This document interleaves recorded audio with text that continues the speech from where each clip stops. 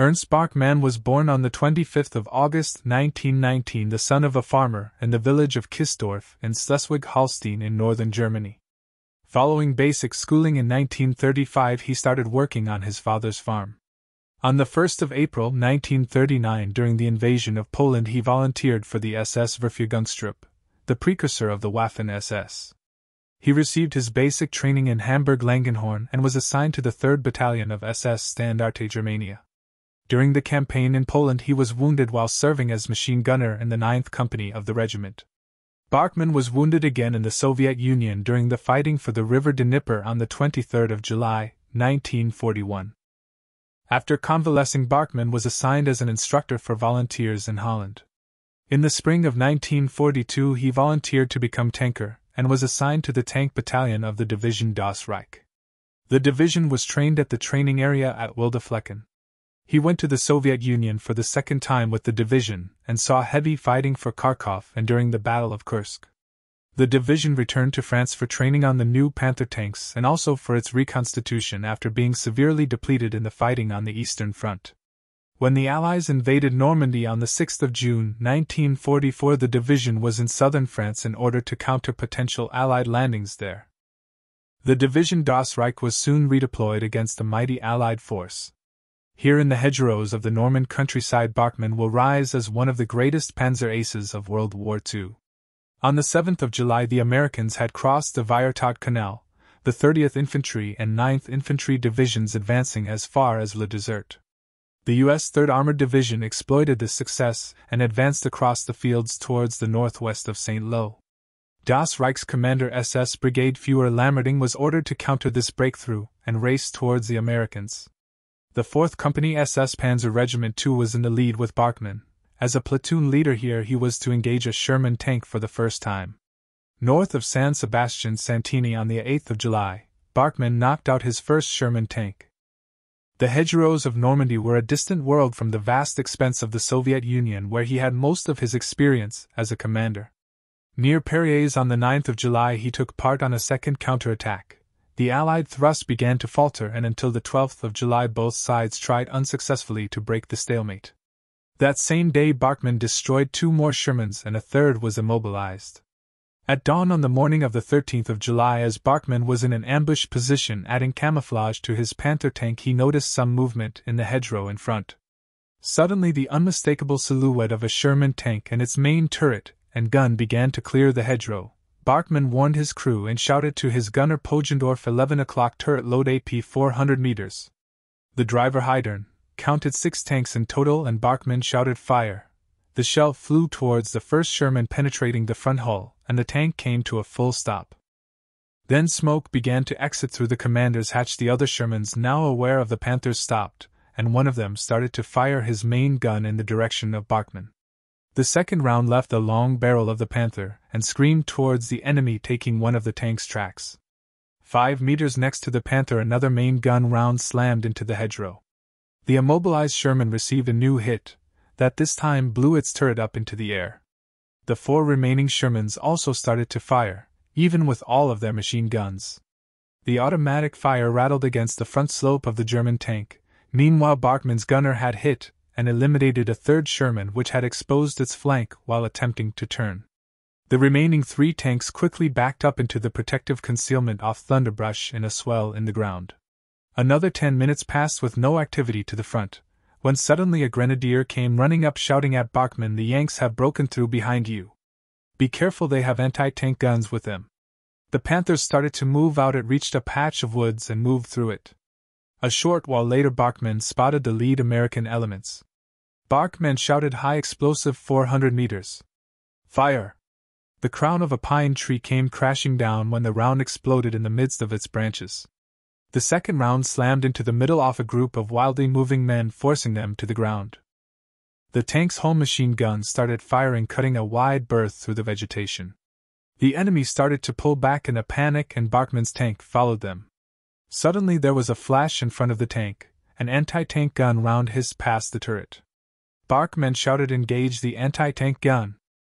The first round from the tank went too high. The gunner corrected his sight picture and eliminated the anti tank gun threat. With the second round, there was a crash off to the right, Another anti tank gun had joined in. The round hit the front of the turret below the gunner's optics, and flames shot out from the vehicle. The radio operator driver and loader were able to bail out, but the gunner remained unconscious in the tank. Barkmann waited in vain for him to emerge. When he realized something was wrong, he raced back and pulled the unconscious man through the hatch when the tank did not receive any more fire. Barkmann ordered his crew to put out the fire on the tank. They succeeded in putting out the flames and getting the vehicle running again, bringing it back to the maintenance facility. The next day, while waiting for his vehicle to finish being repaired, received orders to take his platoon and hack free four tanks that were surrounded. The company commander's orders were brief. He said, Get the four tanks back. I'm giving you one of the reserve tanks as yours is not yet ready. When Barkmann boarded the other tank, which had just been repaired, he noticed the blood on the turret walls from his predecessor in the tank. The previous tank commander had suffered a common fate around to the head from being exposed outside of the protective armor of the vehicle. Barkmann and the two other crews were able to make their way through to the encircled tanks without incident. The damaged tanks pulled back. Barkmann received orders to take their place shortly thereafter. The Americans attacked again in an effort to force a breakthrough to the south. Barkmann's Panther knocked out three more Shermans. Towards noon, the tank's regiment commander SS Obersturmbannführer Christian Tychsen appeared at Barkmann's location. The tall, slim man was a highly decorated soldier who had earned the respect of his men in addition to both the Knight's Cross and Oak Leaves. Tychsen was a veteran who would later fall in the Normandy fighting ambushed by an American patrol. Tychsen gave the orders to Barkmann we're going to move forward towards the house ahead. The enemy is holding wounded from the division, and we will get them back. The three Panthers moved out, they reached the house and freed the wounded Germans from the American forces, which pulled back at the sight of the advancing tanks. During the fighting the next day, Barkmann's tank was hit by artillery, which damaged his running gear. It was only with great difficulty that the vehicle could be brought back to repair. When the crew reached the maintenance facility, Panther 424 had finally been repaired. Barkmann and the men switched vehicles. The tank regiment was moved to the area around St. Enbeen on the 25th of July. The front in that sector lacked cohesiveness, and the tanks of the regiment helped plug the gaps supported by a handful of grenadiers.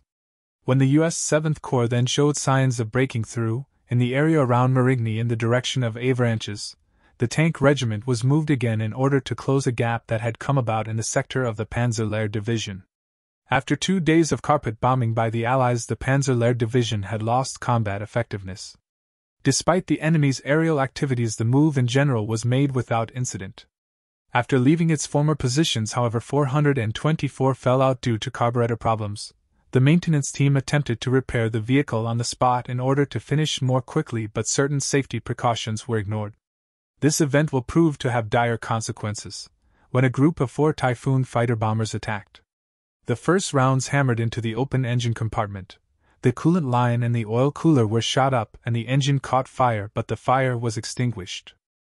The maintenance personnel then had to work the entire night.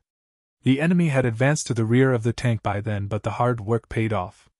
At first, Light 424 was fully mobile again and started to make its way to the new positions of the company. SS Hauptscharführer Heinz and the company maintenance sergeant Schirrmeister Korth mounted the tank to get to the new area of operations more quickly. They reached the area around Le not far from the main road from Coutances to St. Lo. At the outskirts of the village along the curvy road, the tank ran into infantry and trains personnel. Schirrmeister Korth exclaimed, What's going on? Yank tanks advancing right on Coutances. Barkmann replied, The Yanks can't be there yet, our tanks are there. Let's be careful anyway, Korth. You and I will screen to the front. Heinz chimed in, and the two men dismounted and moved about 150 meters in front of the tank. In the distance, Barkmann could make out the sound of fighting and aircraft. The two men disappeared around a corner a short while later. Barkmann heard submachine gun and small arms. He saw the maintenance sergeant was wounded in his arm and shoulder. Barkmann shouted, What's going on? Heinz replied, We made it to the main road where there were Yanks, they called out for us to surrender waving Red Cross flags, but when we started to run back, they fired at us. Heinz continued there were American tanks rolling along the road to Coutances. Behind them is a long column of vehicles. Barkmann yelled, Stay with the Hauptscharführer, we're going to the crossroads. Barkmann ordered his crew to prepare for combat. The loader reported the machine gun and main gun ready. The Panther moved out slowly, Fortunately, there was a wall on both sides of the street which was covered with vegetation and offered concealment. The tank reached the crossroads and positioned itself next to a tall oak. Barkmann told his crew. Tanks approaching from the left, 200 meters to the main road. We'll take out the first two tanks. Poggendorf took up the first Sherman in his sights. The turret was knocked off of its race with the first round. The gunner started traversing in the direction of his next target. The second round left the barrel and scored another direct hit with the second Sherman going up in flames. It blocked the crossroads for the tanks that were following. They turned and then the vehicles that had already passed the crossroads started turning as well. Barkmann told his gunner to fire at will and round after round was soon barking out of the main gun. The coaxial machine gun fired several long bursts. Fuel and ammunition blew apart personnel carriers, jeeps and trucks were blown to bits. In the minutes that followed, the crossroads took on the appearance of a blazing military junkyard. Barkmann suddenly saw two Shermans approaching from the left. They had left the main road and attempted to approach Barkmann cross country. Barkmann issued his fire command Anti tank, 11 o'clock, fire! The tank versus tank engagement started. The first enemy tank was ablaze, but the second Sherman was able to hit the Panther twice before it also started to burn. Then it was hit in the engine compartment with a well placed round. The smell of gunpowder mixed with the thick oily smoke spread over the crossroads roads. Covered by the haze, other enemy vehicles made the way back from the direction of Coutances. Whenever the haze cleared, a little Barkmann re engaged and created even more gaps in the long procession of enemy vehicles. The fighting had lasted an hour before the Americans were able to bring up more tanks in an effort to knock out the solitary German holding up the advance to Coutances. Before they could make their appearance, however, fighter bombers came howling in above the Panther. Their bombs fell, creating large craters. One of the bombs detonated about five meters from the tank, jerking it violently to the side. The bomb that followed toppled the oak tree next to the Panther. The shrapnel from the bombs pelted the walls of the vehicle, the tank heaved and shuddered.